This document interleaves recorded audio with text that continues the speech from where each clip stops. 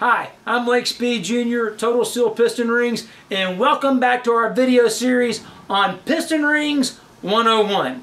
Today is my favorite episode, break-in procedure. You can have all the best parts, all machined perfectly, and it can still go wrong just by not getting the break-in process correct. Now you think about it, we're talking about how the surface finish has to be just right, the geometry has to be just right. Well, break-in or run-in or wear-in are different terms for the same thing. The break-in process is the last part of metal removal. It's how the parts mate together. That last little bit of surface finish makes all the difference in the world.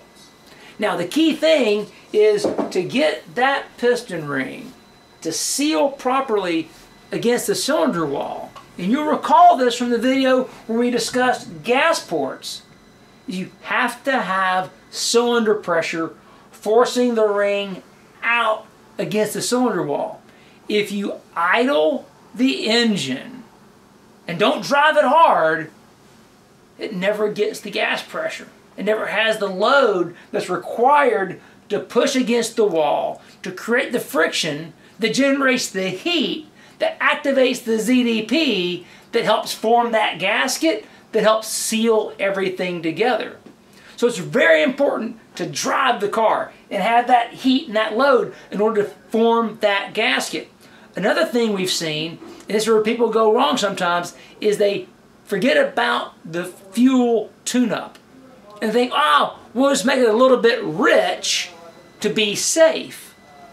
The problem is, if you run the engine excessively rich, it washes all the oil off the cylinder wall.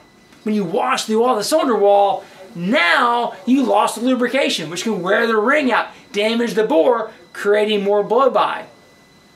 So, having the right fueling is important, having loads important, and then the other thing is, you need to have the correct lubricant friction modified oils, oils that give you fuel economy, synthetics, things like that are not good for ring break-in.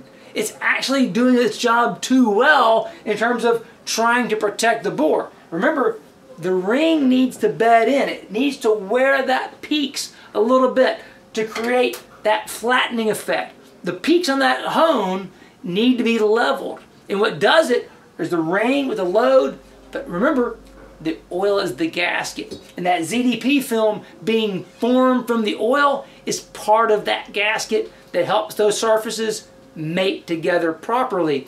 So you need to use the correct oil, non-friction modified, apply the load that generates the heat that helps the chemical process do its job, and then avoid washing it down by excess fueling.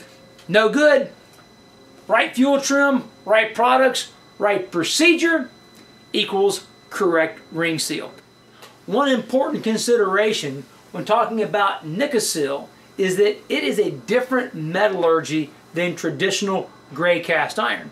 Many, many engines on the planet are made from gray cast iron. And the big difference is gray cast iron is softer than Nikasil. As a result, the surface finish a Nikasil needs to be what's called plateaued. Now, you may be thinking, what does that have to do with a plateau? It has to do with cylinder bores. It's like a mountain. Well, that's exactly what it is.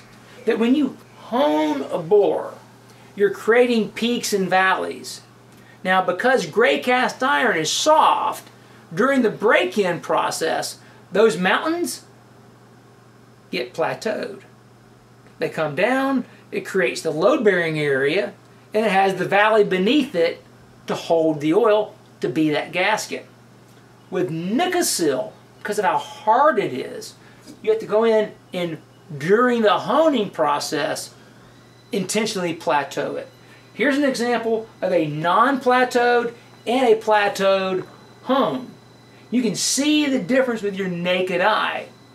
Unfortunately, your rings can also feel that difference as well the rough hone, because of the hardness of Nikasil, turns it into a cutting tool, which means not only will blow by be high, but cylinder wear of the ring will be extremely high. So it will damage the ring, not seal properly, and create all kinds of problems.